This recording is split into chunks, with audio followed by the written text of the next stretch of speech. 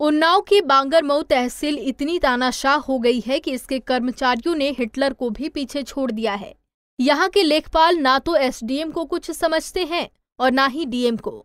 अगर आपको करोड़पति बनना है तो महज हज़ार रुपए में बन सकते हैं। और अगर गरीब बनना है तो पंद्रह सौ लगेंगे। पहला मामला भिखारीपुर पतसिया का है, जहाँ लेखपाल साहब की करतूत ने आठ हज़ार कमाने वाले नागेंद्र के आय प्रमाण पत्र में छत्तीस पैसा सालाना लिख डाला। माने तो तीन पैसा महीना। वही दूसरे कारनामे में लेखपाल जी ने एक नौवीं कक्षा में पढ़ने वाले छात्र को प्रमाण पत्र में करोड़पति बना दिया। लेखपाल साहब ने प्रमाण पत्र में इसकी आय एक करोड़ बीस लाख बना डाली। कुछ नहीं आप लोग स्वयं देख लें। और ये किसी साजिश के तहत ऐसा हुआ है। किसकी साजिश? अब लेखपाल की साजिश लेखपाल जानता भी है हमको ऐसा नहीं कि घर भी जानता है खेती पाती भी जानता है। एक सवा एक बीघा पाँच बिस्वा खेती हमारे पास। होमगार्ड की नौकरी करते हैं एक एक महीने में अगर ड्यूटी करते हैं तो एक महीने बैठे रहते हैं। पिछले महीने ड्यूटी किया इस महीने बैठे हैं।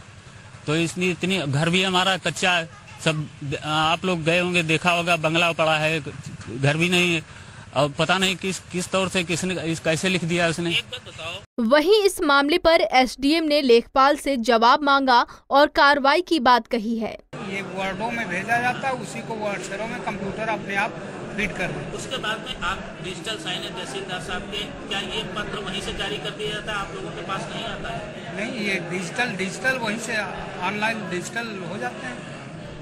वहीं से जारी हो जाता है। एजेंट साहब आपके सामने आ गई है त्रुटि आ गई है। हाँ। लेखपाल पे क्या कार्रवाई करेंगे लेखपाल का जवाब दिया जा रहा है और जवाब आने पर कार्रवाई की जाएगी। यह संभव नहीं है कि लेखपाल की करतूतों का पता उनके आला अधिकारियों को ना हो।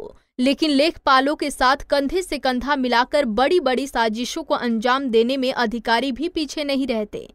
देखना होगा कि अब लेखपाल पर क्या कार्रवाई होती है। पंजाब के केसरी टीवी के लिए उन्नाव से विशाल सिंह चौहान की रिपोर्ट।